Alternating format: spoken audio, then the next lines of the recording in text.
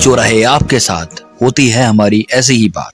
UP hundred news team. निकाय चुनाव आते ही दोनों तरफ़ से आरोप प्रत्यारोपों का दौर भी अब चालू हो गया है। सभी प्रत्याशी चुनावी रण में अपने आप को मजबूती से जनता के सामने पेश कर रहे हैं और उनसे आशीर्वाद की अपील कर रहे हैं। इसी के साथ साथ प्रत्याशी एक दूसरे पर आरोप प्रत्यारोप लगाते भी नज़र आ रहे हैं। इतना ही नहीं, प्रत्याशियों के आरोपों के बीच अब सत्ताधारी पार्टी के बड़े पदाधिकारी के भी आपत्तिजनक बयान सामने आने लगे हैं। अब हम आपको एक बयान सुनाने जा रहे हैं। यह बयान भाजपा पिछड़ा मोर्चा के जिला अध्यक्ष रामजीवन जायसवाल का है। तो सबसे पहले आप इस बयान को सुनिए। आपके सिधौली क्षेत्र में जो प्रत्याशी है, वो विश्व हिंदू परिषद से उनका कनेक्शन रहा है।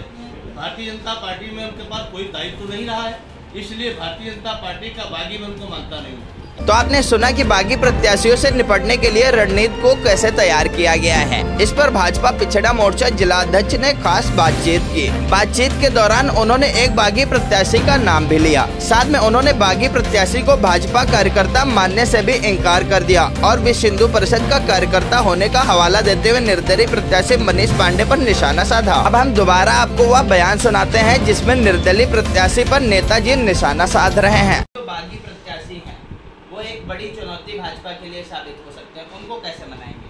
कोई चुनौती नहीं है, मैं बताऊँ, आपके सिधौली क्षेत्र में जो प्रत्याशी है, वो विश्व हिंदू परिषद से उनका कनेक्शन रहा है।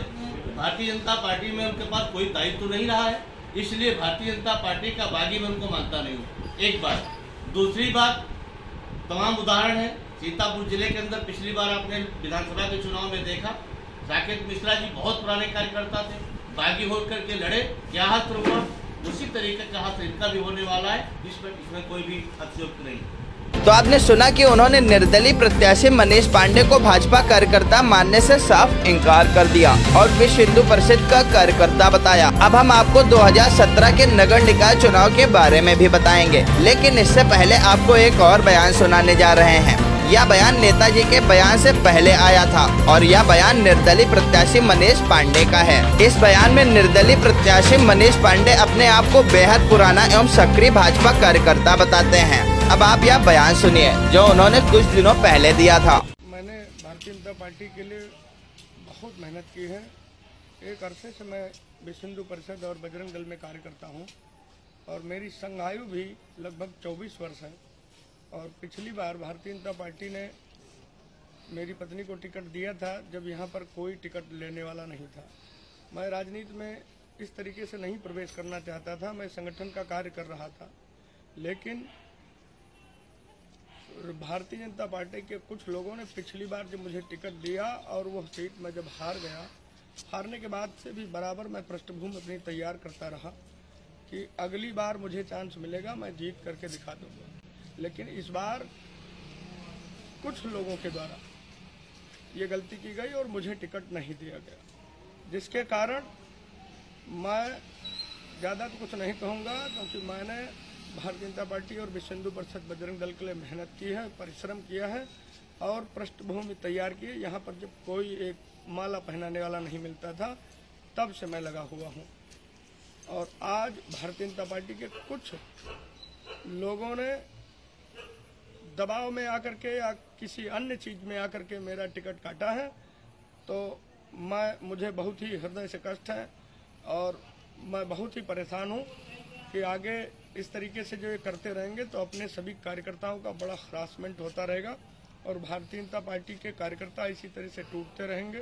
भारतीय जनता पार्टी के वास्तविक कार्यकर्ता जो हम लोग लगे रहे, हमारे बाबा भी जनसंघ में रहे, जनसंघ के संस्थापक सदस्य रहा करते थे और हम लोग सदैव भाजपा की तरफ़ ही अपना कार्य करते रहे, कभी इधर उधर नहीं देखा।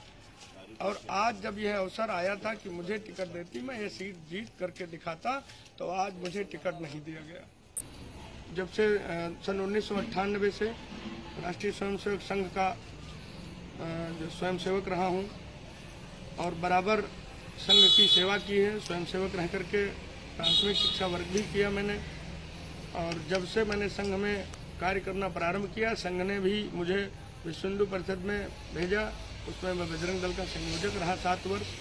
उसके बाद मैं करीब साढ़े चार साल जिला उपाध्यक्ष के पद पर भी रहा और मैंने निरंतर संघ को, परिषद को और भाजपा को बढ़ाने का काम किया। और आज उन्हीं भाजपा के कुछ बाहर से आयातित लोगों के द्वारा, जो कभी भाजपा में नहीं दिखाई देते थे वह भी दिन था जब डॉक्टर लक्ष्मीकांत वाजपेयी जी प्रदेश अध्यक्ष हुआ करते थे। अकेले मैं माला पहनाता था इसी हाईवे पर चढ़ौली में। कोई दूसरा व्यक्ति माला पहनाने के लिए भी नहीं मिलता था। तो यह तो हुई बयानों की बात। अब इन दोनों बयानों में कितनी सच्चाई है, हम आपको इससे भी रूबरू कराते हैं। दरअसल 2017 के नगर निकाय चुनाव में निर्दलीय प्रत्याशी मनीष पांडे ने भारतीय जनता पार्टी से टिकट लाकर भाजपा प्रत्याशी के रूप में चुनाव लड़ा था और उन्हें हार का सामना करना पड़ा था। इसके साथ ही नेताजी के बयान के बाद भाजपा के बागी हुए निर्दलीय प्रत्याशी मनीष पांडे की कुछ अन्य फ़ोटो भी सोशल मीडिया पर तेज़ी से वायरल होने लगी। वायरल फ़ोटो को देखकर पता लगता है कि बागी हुए निर्दलीय प्रत्याशी मनीष पांडे काफ़ी समय से भाजपा से जुड़े हुए हैं। साथ ही अगर वह भाजपा के कार्यकर्ता नहीं है और केवल विश्व हिंदू परिषद के कार्यकर्ता रहे हैं। तो 2017 के निकाय चुनाव में भाजपा ने उन्हें टिकट क्यों दिया था? यह एक बड़ा सवाल सिधौली की जनता के जहन में घूम रहा है। साथ ही नेताजी के इस बयान के बाद मनीष पांडे के समर्थकों में भी नेताजी को लेकर काफ़ी रोष दिखाई दे रहा है और होना भी चाहिए। आखिर इतने बड़े दायित्वधारी को कुछ बोलने से पहले सोचना चाहिए था। और जो बोल रहे हैं, उसमें कहाँ तक सच्चाई है, इसका भी ध्यान रखना चाहिए, क्योंकि आप भारतीय जनता पार्टी में हैं और भाजपा सच की राजनीति करती है, तथा अच्छी अच्छी बड़ी पार्टियों को सच की राजनीति करने के दौरान धूल भी चटा दी है।